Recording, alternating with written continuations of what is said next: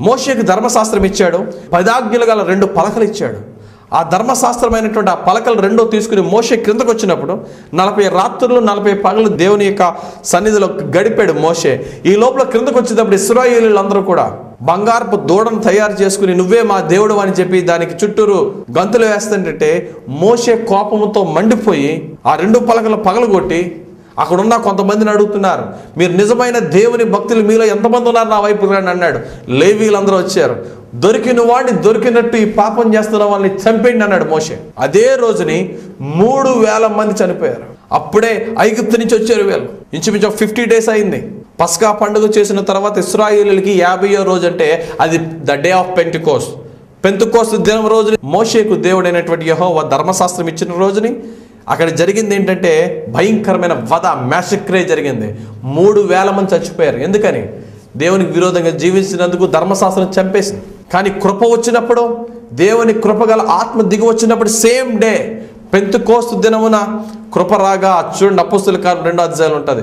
పెంతుకోస్తు దినమున పరిశుద్ధాత్మ దిగి రాగా అప్పుడేం జరిగింది? అందరూ పరిశుద్ధాత్మతో నింపబడగా అదే రెండవ అధ్యాయంలోను పరిశుద్ధాత్మతో దేవుని కృపతో నింపబడిన పేతురు వెళ్ళి దేవుని వాక్యం బోధించగా మూడు వేల మంది ప్రభుని తెలుసుకుని రక్షణ పొందిరి. దేవునికి స్తోత్రం కలుగును కాక ధర్మశాస్త్రం ఇచ్చిన రోజుని మూడు వేల మంది చచ్చిపోతే కృప దేవుని ఆత్మ దిగి వచ్చిన రోజుని మూడు వేల మంది రక్షణ పొందారట. చూడండి అపోస్తుల కార్యం రెండవ అధ్యాయం నలభై ఒకటో వచనం. కాబట్టి అతని వాక్యం అంగీకరించిన వారు బాప్తిస్మము పొందిరి. ఆ దినమందు ఇంచుమించు మూడు వేల మంది చేర్చబడిరి. ఎంతమంది అట three thousand people same day యేసు ప్రభుని రిసీవ్ చేసుకుని బాప్తిస్మము పొంది రక్షింపబడ్డారు మూడు వేల మంది. ఎప్పుడు? దేవుని యొక్క కృపగల ఆయన ఆత్మ దిగి వచ్చినప్పుడు అంతమంది రక్షింపబడ్డారు. కానీ ధర్మశాస్త్రం ఇచ్చినప్పుడు నిర్గమాకాండంలో ముప్పై రెండవ అధ్యాయం ఇరవై ఎనిమిదవ వచనంలో చూసినట్లయితే మూడు వేల మంది హతమార్చబడిరి. దీన్ని బట్టి ఏం చెప్తుందంటే కృప నిన్ను జీవింపచేస్తుందంటే ధర్మశాస్త్రం నిన్ను చంపేస్తుంది. ధర్మశాస్త్రం అనేది లిస్ట్ ఆఫ్ రూల్స్. అక్షర రూపంలో ధర్మశాస్త్రం రాయబడితే కృప ఆత్మ రూపంలో వచ్చింది. కృప అంటే ఏంటండి? ద డాక్టర్ ఆఫ్ గ్రేస్ అంటే ఏంటండి? కృప గురించి చెప్పండి అంటే నేను ఒకటి అంటాను. ధర్మశాస్త్రం అంటే లిస్ట్ ఆఫ్ రూల్స్ ఉన్న అనేకమైనటువంటి రూల్స్ ఉన్నాయి. ఇది చేయాలి అది చేయకూడదని. కృపకు రూల్స్ ఏమీ లేదు. కృప ద డాక్టర్ ఆఫ్ గ్రేస్. కృప యొక్క రూల్స్ లేక కృప గురించి ఏంటి చెప్పండి అంటే కృప అనేది ఒక పదం కాదు ఒక పుస్తకం కాదు. కృప అనేది ఒక మనిషి అది యేసుక్రీస్తు ప్రభు. గ్రేస్ అంటే యేసు ప్రభు ఆయన కృపామయుడు. ఆయనను చూసి ఆయన గుణగణాలు తెలుసుకోవడమే కృప. ఆయన పోలి నడవడమే కృప. కృప ఆత్మతో ఉంటుంది ధర్మశాస్త్రము వాక్యముతో ఉంటుంది. అందుకనే దేవుని వాక్యం చెప్తుంది letter kills but spirit gives life చూడండి పరిశుద్ధ గ్రంథంలో కొరిందిల్ రాసిన రెండవ పత్రిక మూడవ అధ్యాయం ఆరో వచనం.